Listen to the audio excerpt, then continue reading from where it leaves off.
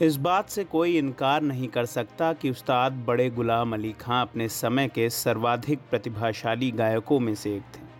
उनका जीवन भी अच्छे और बुरे अनुभवों से भरा हुआ था, लेकिन कभी भी उन्होंने जीवन के इस उतार चढ़ाव के दौरान संगीत से अपने शौक को मरने नहीं दिया।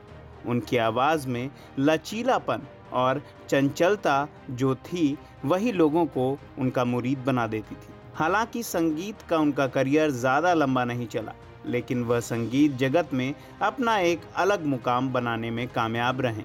उस्ताद बड़े गुलाम अली खां का जन्म पाकिस्तानी पंजाब के मशहूर शहर लाहौर के पास स्थित गाँव केसुर में 2 अप्रैल 1902 में हुआ था। उनको संगीत विरासत में याद किया जाता है। उनके पिता अली बख्श खां प्रसिद्ध सारंगी वादक और गायक भी थे। उन्होंने संगीत का औपचारिक प्रशिक्षण अपने चाचा काले खां से लिया, जो प्रसिद्ध गायक और संगीतज्ञ थे।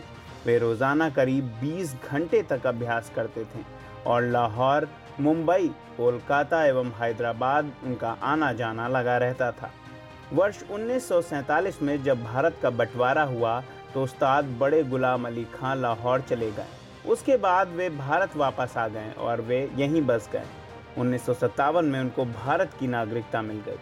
उस्ताद बड़े गुलाम अली खान ने करियर के शुरुआत में सारंगी बजाई और अपने चाचा काले खां के द्वारा लिखे गए गीतों को गाया। कलकत्ता में 1938 में उनका पहला कंसर्ट उनके जीवन के लिए क्रांतिकारी साबित हुआ।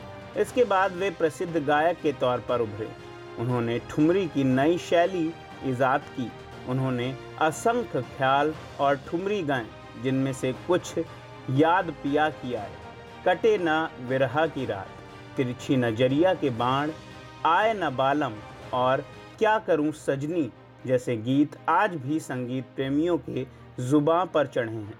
शुरू में उन्होंने फ़िल्म में गाने से मना कर दिया था, लेकिन मुगल आज़म जैसी फ़िल्म में उन्होंने अपनी आवाज़ दी। उनकी आवाज़ इस मूवी में तानसेन के लिए इस्तेमाल की गई। उनको इस बात के लिए बीसवीं सदी का तानसेन माना जाने लगा था।